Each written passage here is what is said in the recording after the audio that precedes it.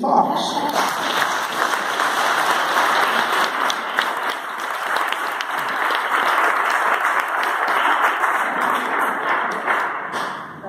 Christian told you we met at the festival near Seattle, and um, uh, actually, before I met Christian, though, I just want to mention that, and before I ever came to Denmark, I was really interested in your country when I was a teenager, um, because it's so it's so different from where I come from. I come from a Native American background, and and uh, looking on a globe, Denmark looked pretty exotic to me.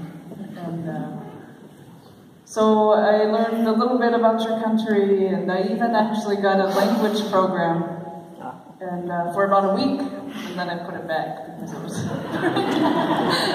pretty exotic.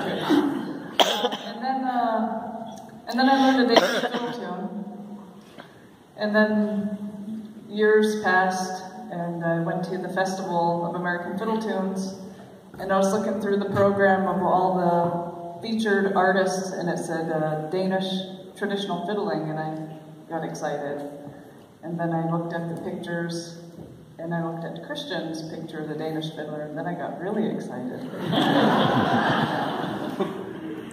so it was within, it was a week-long festival, and my goal was to, I wanted to show Christian, uh, my Danish fiddle tune. And I was at the dance. There's a, a dance every night, and uh, Bill and Christian came up, and I asked Christian to dance with me, and he did. And then after the dance, him and Bill were leaving. So I kind of panicked. I thought I lost my chance to talk to him. And uh, but I, I, got their attention really well because I told them I had a, a pack of beer in my car. and then they hung out with me all night uh, so, yeah, and now I'm here. Thanks so much.